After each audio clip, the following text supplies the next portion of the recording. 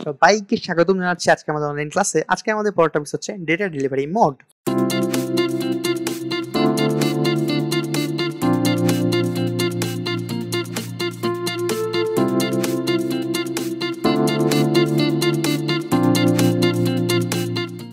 প্রাপকের সংখ্যার উপর ভিত্তি করে ডেটা ডেলিভারি মোড সাধারণত তিন প্রকার।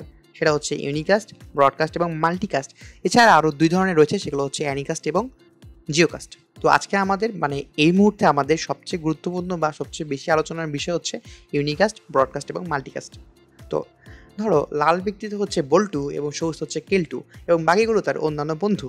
এখন বল্টু কোনো কারণে কেলটুর সাথে কালকে মিসবিহেভ করছে। তো বল্টু কী করবে? কেলটুকে ফোন দিবে যে বলবে যে, তুই আমার সাথে কালকে যা যা করছিস, সেই জন্য আমি তোকে কিছু এখন ভালো কথা শোনাবো। তুই সেই কথাগুলো শুনবি।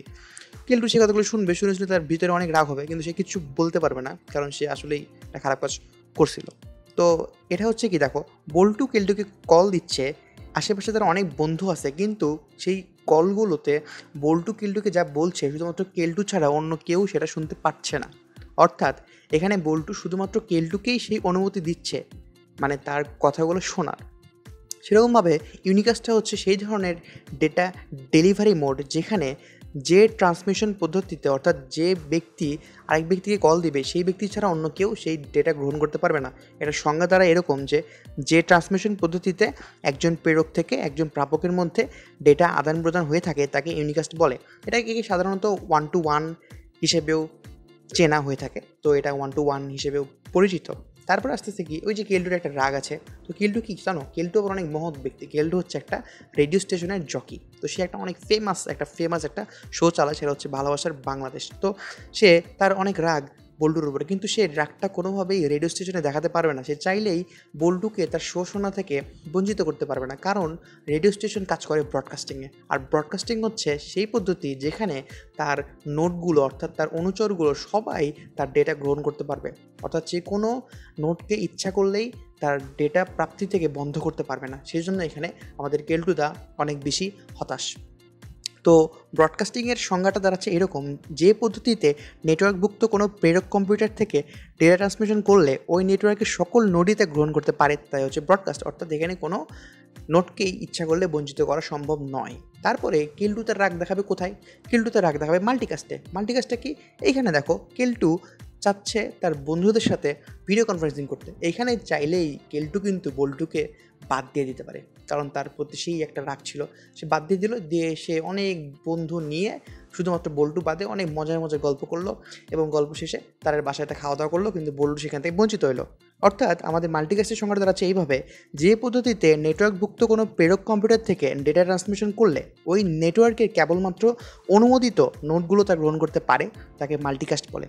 এটা তুমি আরেকটা উদাহরণ ধরতে পারো। ধরো তুমি যে আইএসপি থেকে ইন্টারনেট কানেকশন নিচ্ছ তুমি দুই মাস ধরে তাকে এক টাকাও দাও নাই। সে এখন কী করবে? তোমাকে অবশ্যই কানেকশন দিবে না। কিন্তু তুমি ভাবতেছো যে সে, আমি যেহেতু একটা এলাকায় আছি, সে যদি অফ করে তাহলে আমার এলাকা সবগুলো অফ করতে হবে। কিন্তু সে তা বাধ্য না। কারণ যে যে টাকা দিবে, সে সে ফলভোগ করবে, এটাই নিয়ম। তো সে চাইলেই তোমার আইএসপি অর্থাৎ তোমার ইন্টারনেট কানেকশনটা অফ করে দিতে পারে। এটা হচ্ছে এক ধরনের মাল্টিকাস্টিং পদ্ধতি। তারপরে আমরা আসতেছি অ্যানিকাস্টে। অ্যানিকাস্ট হচ্ছে এক ধরনের বিশেষ ইউনিকাস্ট পদ্ধতি, যে পদ্ধতিতে আমাদের সোর্সের সর্বনিকটতম নোটগুলোই কেবলমাত্র তার তথ্য গ্রহণ করতে পারে। এখন একটা গল্পের মাধ্যমে বোঝার চেষ্টা করি, ধরো কয়েকজন ব্যক্তি এবং খ, গ, ঘ, তার তিনজন বন্ধু। তো ক একটা মেসেজ খকে পাঠাতে যাচ্ছে অ্যানিকাস্ট পদ্ধতিতে।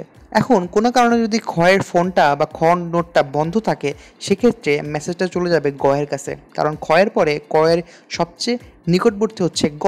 তারপরে ভাগ্যবশত বা দুর্ভাগ্যবশত যদি কোনো কারণে গ অফ থাকে, গ নোট যদি বন্ধ থাকে, সেক্ষেত্রে মেসেজটা চলে যাবে ঘয়ের কাছে।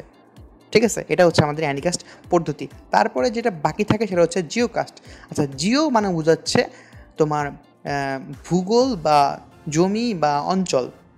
ওকে, জিওকাস্ট মানে হচ্ছে অঞ্চল ভিত্তিক যে ডেটা প্রাপ্তি। সাপোজ ধরো আমাদের রাজশাহীতে একটা রেডিও স্টেশন আছে যেটার নাম হচ্ছে রেডিও পদ্মা। তো রেডিও পদ্মাতে যে অনুষ্ঠানটা হবে, সেটা কেবলমাত্র আমরা রাজশাহীবাসী শুনতে পাবো। অর্থাৎ আমাদের রাজশাহী ডিস্ট্রিক্ট বা রাজশাহী শহরের মধ্যে যারা আছি, তারাই কেবলমাত্র রেডিও পদ্মার আমাদের যে যে অনুষ্ঠানগুলো হবে, সেটা আমরা শুনতে পাবো। কিন্তু রাজশাহীর বাইরে যখন আমরা যাব নাটোরে, যখন আমরা যাব সিরাজগঞ্জে, তখন কিন্তু আমরা রেডিও পদ্মার কোনো অনুষ্ঠানই উপভোগ করতে পারব না। অর্থাৎ একটা নির্দিষ্ট ভৌগোলিক অঞ্চলের মধ্যে ডেটা প্রাপ্তি যেটা সেটা হচ্ছে আমাদের জিও কাস্ট ঠিক আছে? যেমন তোমার হচ্ছে রেডিও ফুর্তি আমরা বাংলাদেশের সবাই শুনতে পাই, কিন্তু ভারতে গেলে কিন্তু আমরা রেডিও ফুর্তি শুনতে পাবো না। অর্থাৎ আমাদের একটা নির্দিষ্ট ভৌগোলিক অঞ্চলের মধ্যে আমাদের যে ডেটা প্রাপ্তি সেটা হচ্ছে আমাদের জিও কাস্ট আশা করি আজকের টপিকসগুলো আমরা সবাই খুব ভালো মতো বুঝতে পেরেছি। এই আশা রেখে আজকে আমাদের অনলাইন ক্লাসটা এখানে শেষ করছি। এবং আমরা সবাই জানি যে আমাদের দেশ সহ আমাদের সম্পূর্ণ জাতি এবং আমাদের পুরো বিশ্ব অনেক সংকটের মধ্যে রয়েছে। সেই জন্য আমি সবাইকে অনুরোধ করব, তোমার সবাই ঘরে থাকবা, সুস্থ থাকবা এবং সবাইকে সুস্থ রাখবা। তো আমাদের ক্লাসগুলো যদি তোমাদের ভালো লাগে থাকে, সেক্ষেত্রে তোমরা আমাদের ক্লাসটা লাইক করতে পারো, কমেন্ট করতে পারো এবং শেয়ার করতে পারো তোমার বন্ধুদের সাথে। এবং যদি তোমরা চাও আমাদের চ্যানেলটিকে সাবস্ক্রাইব করে রাখতে পারো। সবাইকে ধন্যবাদ। আমাদের ট্যালেন্ট আইটি রাজশাহীর সাথে থাকার জন্য। ধন্যবাদ সবাইকে।